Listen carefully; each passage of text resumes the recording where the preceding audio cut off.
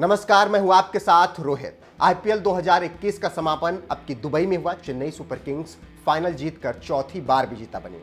वहीं दूसरी तरफ़ विश्व कप भी अब अपने अंतिम पड़ाव पर है। इस दौरान बीसीसीआई 2022 के आईपीएल के लिए पूरी तरीके से तैयारियाँ कर रही है। तो वहीं आईपीएल की जो फ्रेंचाइजी हैं, वो भी अपनी टीम व्यवस्थित करने में लगी हुई हैं। सभी टीमें अपने कोच, अपने स्टाफ को लेकर पूरी तरीके से आश्वस्त होना चाहती हैं। इसी दौरान आरसीबी की कप्तानी विराट कोहली छोड़ चुके हैं, जैसा सबको पता है। तो वहीं उनके कोच की भी नई नियुक्ति हो चुकी है। मतलब आरसीबी के नए कप्तान और नए कोच आईपीएल 2022 के सीज़न में दिखेंगे। फ़िलहाल आपको बता दें कि कप्तान कौन होगा, अभी इसका ऐलान आरसीबी की तरफ़ से नहीं हुआ है, लेकिन नए हेड कोच को लेकर बीसीसीआई ने बयान जारी कर यह बता दिया है कि भारत के पूर्व खिलाड़ी संजय बांगड़ अब हेड कोच की भूमिका आरसीबी की निभाएँगे। मतलब संजय बांगड़ रॉयल चैलेंजर्स बेंगलोर के अगले कोच होंगे। वो माइक हैसन की जगह लेंगे और माइक हैसन टीम के डायरेक्टर बने रहेंगे। आरसीबी ने एक बयान जारी करके संजय बांगड़ के कोच बनने की नियुक्ति की जानकारी दी।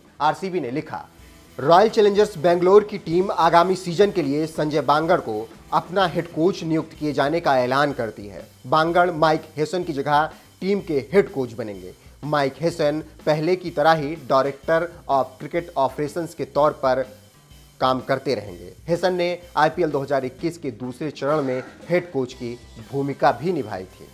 फ़िलहाल आरसीबी ने यह बयान जारी करके अपने नए कोच की जानकारी सभी को दे दी है। अब देखना होगा कि विराट कोहली जब कप्तानी छोड़ चुके हैं तो आरसीबी का नया कप्तान कौन होगा? फ़िलहाल चर्चाएँ चल रही हैं कि केएल राहुल को आरसीबी अपनी टीम में शामिल करेगा और वही आरसीबी के अगले कप्तान होंगे। वैसे संजय बांगड़ के कोच बनने पर आपका क्या कुछ कहना है? कमेंट बॉक्स में हमें ज़रूर बताएँ।